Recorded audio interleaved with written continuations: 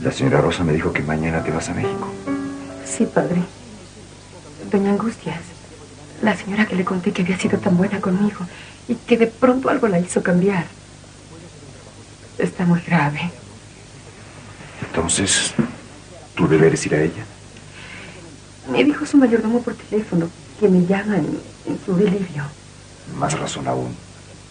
Tú ya debes haberla perdonado y ella también te perdonará. Si llego a tiempo. Don Luis me llevará, pero, pero estaba muy grave. Es la abuela de Julio. ¿No? ¿Temes encontrarte con él? Es, es que quizá no, no me deje entrar a verla. Julio está demasiado herido.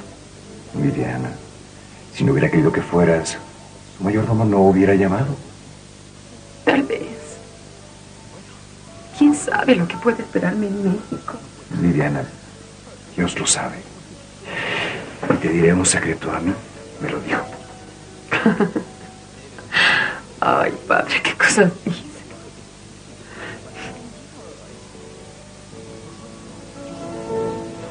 Padre,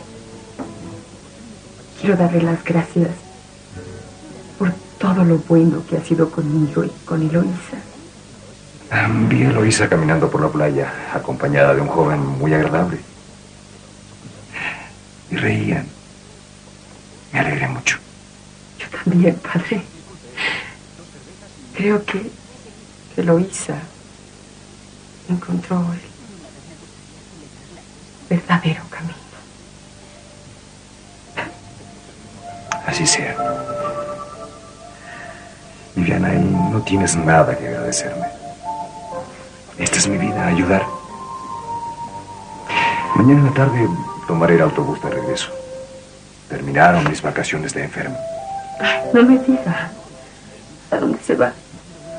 Si quieres verme, estaré en la iglesia de San Juan de los Lagos, en la colonia de los doctores, en México.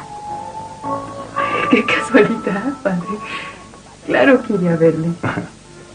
Antes de regresar aquí, iré a saludarle. Viviana, el secreto que me confió Dios nuestro Señor es que allá encontrarás la felicidad. No me dijo con quién, pero sí que por fin serás feliz. También adivino, padre. No, no. Tal vez sea mi deseo tan vehemente de que así ocurra. Que me hace sentirlo como un hecho. Gracias, padre. Y adiós. De corazón, gracias por todo. Viviana, ¿puedo pedirte un último favor? Sí, padre, claro, lo que usted quiera.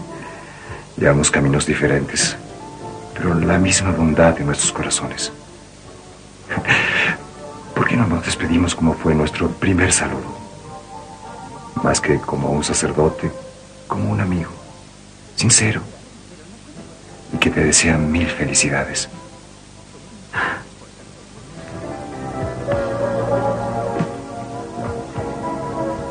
Adiós.